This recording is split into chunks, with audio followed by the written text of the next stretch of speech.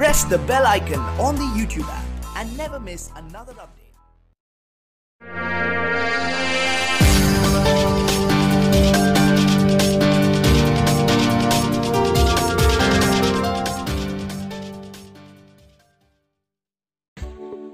नमस्कार दोस्तों, मैं प्रदीप दुबे आज मैं बात करने वाला हूँ एच डी फाइनेंस के ऐप के बारे में लोग अक्सर हमसे ये सवाल पूछते हैं कि मैंने जो है एच डी फाइनेंस से लोन लिया था और मैं इस ऐप में लॉगिन करना चाहता हूँ तो इस ऐप को लॉगिन नहीं कर पा रहा हूँ। तो आज मैं आपको एच डी फाइनेंस का जो ऐप है, इसको मैं लॉगिन करके दिखाऊँगा और कैसे लॉगिन होगा मैं इसके बारे में आपको जानकारी देने वाला हूँ।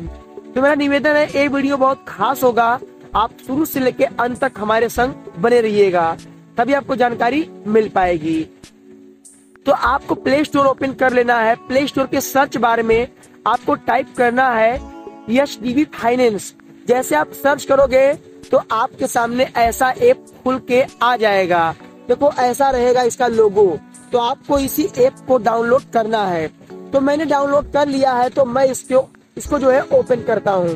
तो आपको ओपन वाले ऑप्शन पे क्लिक करना रहेगा। जैसे आप ओपन करोगे तो आपके सामने इस तरीके से खुलना चालू हो जाएगा। तो यहाँ पे आपसे बोला जा रहा है, आप अपना मोबाइल नंबर डालिए। तो जो आपका मोबाइल नंबर या जी फाइनेंस में जो रजिस्टर है, आप वही नंबर इसमें डालिएगा। और अलाउ का ऑप्शन बोलेगा तो आप अलाउ कर देना इसको जो है।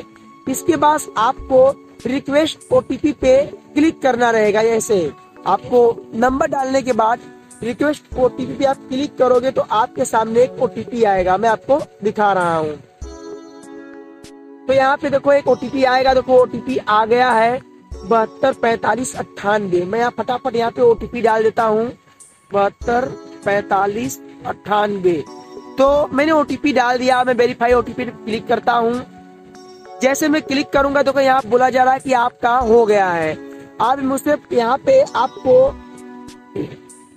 ऊपर के साइड में आपको एमपीएन पिन बनाना है। तो आप चार अंक का कोई भी पिन आप यहाँ पे डाल देना। मैं आपको बता रहा हूँ थोड़ा वेट तो आपको वहाँ पे चार डिजिट का एमपीएन पिन डालना है और यहाँ पे पेन कार्ड का नंबर डालना है और यहाँ पे डेट ऑफ़ बर्थ डालना है और यहाँ पे इंटर अकाउंट नंबर जो आपका लोन नंबर है, आपको वो डालना है, आपका फाइनेंस का।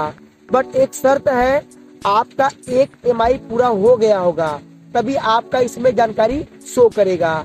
अगर मान लो आपने एच फाइनेंस से अगर लोन करवा लिया है और आपका एक एम बैंक से कट जाने के बाद चार से पाँच दिन बाद तभी इसमें शो करेगा वो सारा जानकारी। बाकी आपका सब कुछ बताएगा। आप लॉगिन करोगे, आपका लॉगिन भी हो जाएगा, आपका एम कितना वो बताएगा सबको बताएगा। पूरा डिटेल आपका एक एम कटने के बाद ही शो करेगा। तो आपको कोई भी जानकारी गलत फिल नहीं करनी है। जो आपका डेट ऑफ़ बर्थ आपने दिया है एच फाइनेंस में आपको वही डालना है। आपका पेन कार्ड का नंबर डालना है और आपका लोन अकाउंट नंबर डालना है। फटाफट फिल करके आपको मैं बता रहा हूँ। आप लोग देख सकते हो, यहाँ पे मैंने जो है सारी जानकारी फिल कर लिया है। आप लोग यहाँ पे देख सकते हो। तो मेरा निवेदन है कि अगर आप गलत जानकारी फिल करोगे, तब भी ये एक्टिवेट हो जाएगा। बट आपका कोई भी जानकारी शो नहीं करेगा। इसमें एक खास बात ये है। तो आप लोग सही जानकारी फिल करोगे, तभी आपका शो करेगा। जो लोन अकाउंट नंबर है, वो वो जो है दो दो, चार, दो, छह, सात अंक का होता है। मैं आपको बता रहा हूँ, जो लोन अकाउंट नंबर होता है, वो सात अंक का होता है। तो आप लोग वही लोन अकाउंट नंबर आपको इसमें डालना है। डाल के आपको नीचे वाले ऑप्शन पे एक्टिवेट करना है। तो मैं फटाफट यहाँ पे एक्टिवेट पे क्लिक करता हूँ। जैसे आप क्लिक करोगे आपके सामने देखो ऐसा आग खुल के आ जाएगा। तो यहाँ पे आपका जो आ, इंटर लॉगिन आपने डाला था एमपीएन डाला था चार का वो डाल के आपको लॉगिन करना रहेगा। तो मैं फटाफट डाल के लॉगिन कर लेता हूँ। आप लोग देख सकते हो, मेरा यहाँ पे खुल के आ गया है। यहाँ पे आप लोग देख सकते हो, मेरा दो लोन चल रहा है। और, यहाँ पे जो मेरा लोन है, देखो, मैंने पर्सनल लोन के लिए अप्लाई किया था तो ये मेरा जो है, नहीं अप्रूव हुआ। तो ये मेरा, देखो मोबाइल का लोन है, पूरा जानकारी, देखो शो कर रहा है। देखो, मेरा आ गया लोन समरी मेरा शो करेगा, मैं आपको दिखा रहा हूँ। देखिए, मेरा लोन समरी शो कर रहा है। तेरह सौ बत्तीस रूपए का मेरा एमआई है। छह मंथ के लिए मेरा दो एमआई और बाकी है। चार पूरा हो गया है। देखो, पूरा जानकारी यहाँ पे शो करने लगा है। तो आपका ऐसे ही शो करेगा। आपको एक बातों का ध्यान देना है।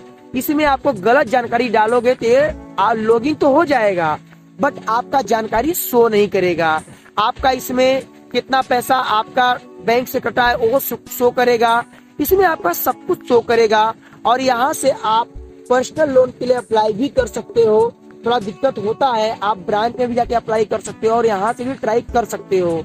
और आपको अगर कस्टमर केयर से बात करना है तो इनका कस्टमर केयर नंबर ए है, मैं आपको थोड़ा बता देता हूँ। देखिए इनका कस्टमर केयर का आ गया ऑफ़िस का एड्रेस मैं आपको कस्टमर केयर नंबर स्क्रीन पे दे देता हूँ। आप लोग नोट कर लेना। इसी स्क्रीन पे मैं कस्टमर केयर नंबर देने वाला हूँ तो आप लोग नोट कर लेना। तो मैंने आपको सारी जानकारी बताने की पूरी पूरी कोशिश की है। आप नए डॉक्यूमेंट का फॉर्म सब कुछ यहाँ से कर सकते हो। कोई दिक्कत नहीं होगा। आपका एम क्या है, कितना जमा हुआ है, सब कुछ आप सोच चेक कर सकते हो। तो आपको मैंने वो सारी बातें बता दी है। अगर इसके बारे में कोई आपको दिक्कत आ रहा है तो आप उससे पूछ सकते हो। आपका लोन अकाउंट नंबर अगर आपको नहीं पता है तो आप कस्टमर केयर में बात करके पता कर सकते हो। कस्टमर केयर का नंबर मैंने स्क्रीन पे दे दिया है। आपको जो भी जानकारी नहीं पता है, आप कस्टमर केयर में कॉल करके पता कर सकते हो। बस यही कहना था, वीडियो अच्छी लगी लाइक शेयर करना। आपके मन में कोई भी सवाल हो तो कमेंट करना। फिर मिलेंगे नए वीडियो के साथ। तब तक के लिए जय हिंद, वंदे मातरम।